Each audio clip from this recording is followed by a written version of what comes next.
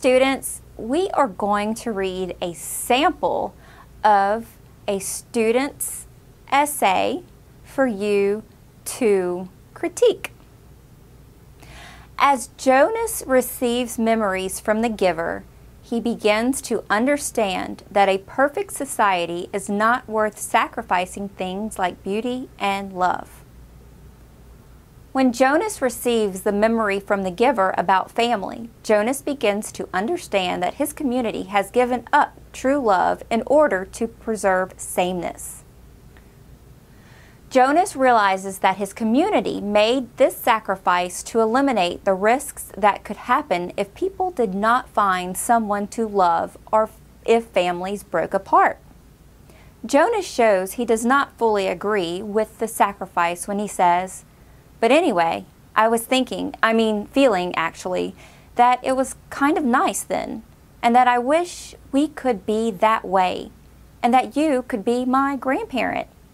His words to the giver suggest that he thinks that his community made too great of a sacrifice when they gave up family and grandparents in order to preserve sameness and reduce risk of families breaking apart. Have you ever thought about the word redundancy? I do especially whenever my grandmother tells me stories over and over and over again. It's redundant. She's telling me something that I've already heard 10,000 times. So, do we see a little redundancy in this paragraph? So, let's clarify. Redundancy, repeating words or phrases over and over again. Well, let's think about it. Let's look at this question. What do you notice about the first two sentences? What do you think?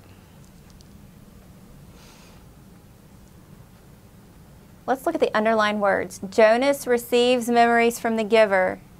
Jonas receives memory from the giver. I've already read that twice, so I get it. He receives memory from the giver. Let's think about how we could possibly make this a little bit more smoother okay? But we're not done yet. Let's look at some other points to help our friend make his or her essay a little bit better.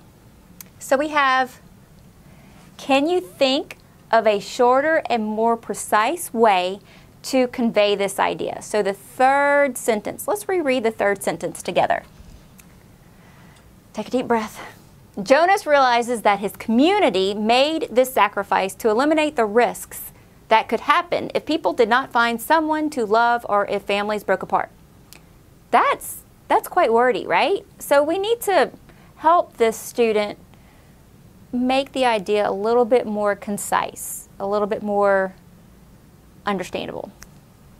Then lastly, let's look at this last sentence. Can you think of a shorter and more precise way? So again, let's reread this. His words to the giver suggest that he thinks that his community made too great of a sacrifice when they gave up family and grandparents in order to preserve sameness and reduce the risk, risk of families breaking apart. Whew, okay? What are some ways we can help this student, once again, make it a little bit more tighter and flow easier? Let's see. The first two sentences were redundant. We heard that Jonas received from the, the giver. And the third sentence was really um, long and fluffy and full of words that we just didn't necessarily need. So let's look at how we fixed this essay.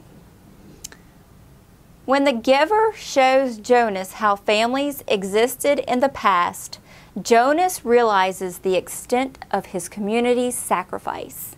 Although Jonas realizes his community did this to eliminate heartache and broken families, oh my goodness, you get all of what you were trying to say, or this student was trying to say, in all of those sentences and all of those words into this compact, precise, and concise thought.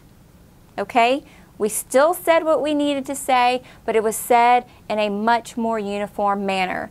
by expanding vocabulary and not repeating the same thing over and over again. And then the last sentence, okay? These words show that Jonas wishes that his community could experience family in the same way despite risks that could occur.